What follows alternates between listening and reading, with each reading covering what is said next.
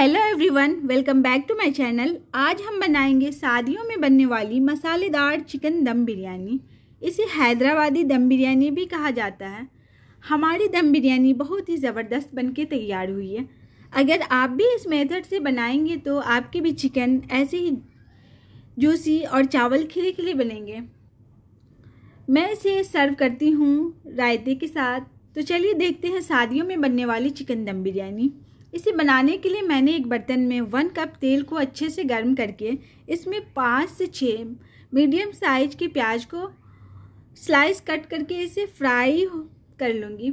इसे golden fry होने तक लगातार चलाते हुए इसका कलर गोल्डन होने तक फ्राई कर लेंगे। तो देखिए हमारे प्याज का कलर गोल्डन हो चुका है। अब मैं इसे सारे प्याज को एक बर्तन में निकाल कर साइड में रख लूँगी और गैस की फ्लेम को ऑफ़ कर दूँगी। अब मैं चिकन को मैरिनेट करूँगी, जिसके लिए मैंने वन के जी चिकन ली हूँ। इसमें वन कप अच्छे से बीट किया हुआ दही ऐड करूँगी, टू टेबल स्पून अदरक और लहसुन का पेस्ट, बारीक कटा हुआ धनिया और पुदीना की पत्ती।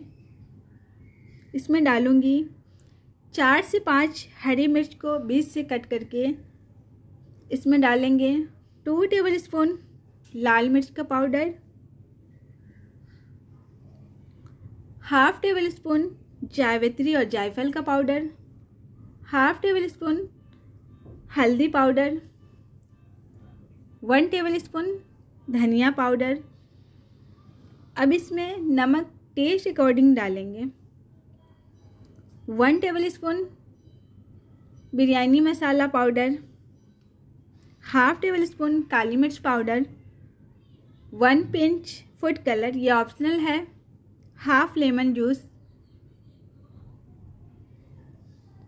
अब मैं जो फ्राई की हुई थी प्याज, उसमें से थोड़ा सा गार्निशिंग के लिए निकाल लूँगी। अब मैं सारे प्याज को हाथों से हल्के सा क्रश करके इसमें डाल देंगे। अब मैं सारे मसाले को हाथों की मदद से अच्छे तरह से मिक्स कर लेंगे। अब मैं चिकन को मैरिनेट होने के लिए एक से दो घंटे के लिए रख देंगे। मैरिनेट किया हुआ चिकन? एकदम जूसी और सॉफ्ट बनता है तो इसे ढककर एक घंटे के लिए छोड़ देंगे।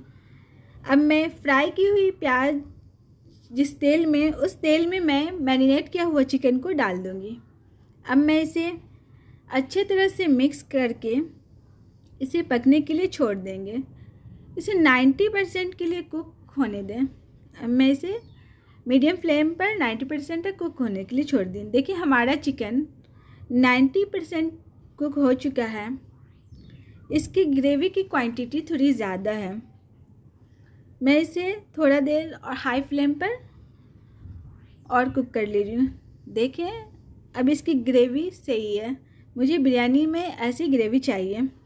अब मैं पानी को अच्छी तरह से बॉईल होने तक बॉईल कर लेंगे। अब मैं इसमें वन टेबल स्पून जीरा दो बड़ी इलायची तीन से चार छोटी इलायची एक स्टार एनिस तीन से चार लौंग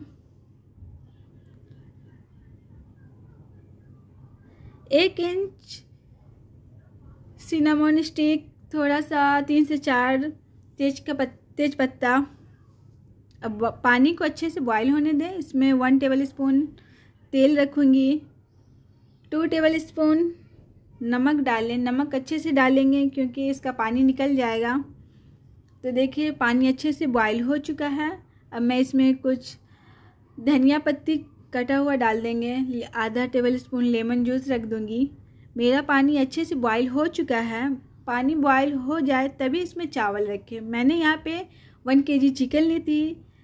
और इसमें वन के जी चावल ऐड कर रही हूँ। मैंने चावल को थोड़ा देर पहले धोकर रख ली थी। देखें, इसमें मैं ये चावल को ऐड कर ले रही हूँ। अब चावल को, सारे चावल को अच्छे से रख कर इसे चला दें। अब मैं इसे 90 परसेंट के लिए कुक कर लेंगे हाई फ्लेम पे। तो देखिए, मैं ढक कर इसे 90 परसेंट के लिए कुक होने के लिए छोड़ दे रहे हैं। हमारा चावल 90 परसेंट कुक हो चुका है, अब मैं इसे छान कर निकाल लूँगी। सारे चावल को मैं इसी तरह छान कर निकाल ले रहे हैं। तो देखिए, मैं सारे चावल को निकाल ली। अब मैं लेयरिंग करूँगी, जिसके लिए मैं एक बर्तन ली, उसमें फ़र्स्ट लेयर चावल रखूँगी। उसके ऊपर धनिया पत्ती, पुदीना पत्ती और फ्राई किया हुआ प्याज से गार्निशिंग कर लूँगी। फिर उसके ऊपर गोश्त डालेंगे। फिर उसके ऊपर चावल रख कर उसके ऊपर गार्निशिंग करेंगे। फ्राई किया हुआ प्याज, धनिया पत्ती, पुदीना पत्ती से। अब मैं जो बचा हुआ चिकन था, फिर उसके ऊपर डाल देंगे।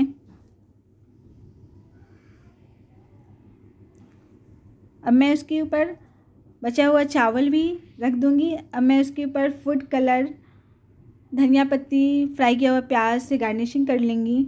इसे दम के लिए बिल्कुल लो फ्लेम पर 20 मिनट के लिए छोड़ दें। देखें, हमारे दम बिरयानी एकदम रेडी हो चुका है। ये मसालेदार एकदम चिकन दम बिरयानी बिल्कुल रेडी हो चुका है। चावल भी देखिए कितने खिले खिले हैं। ये चिकन दम बिरयानी बहुत ही मज़े का बनता है। आप इसे ज़रूर ट्राई करें। और कमेंट में बताएँ कि हमारी ये रेसिपी आपको कैसी लगी। वीडियो अच्छी लगी है तो वीडियो को लाइक करें। फैमिली और फ्रेंड के साथ ज़रूर शेयर करें। और मेरे चैनल को सब्सक्राइब किए बिना बिल्कुल भी न जाएँ।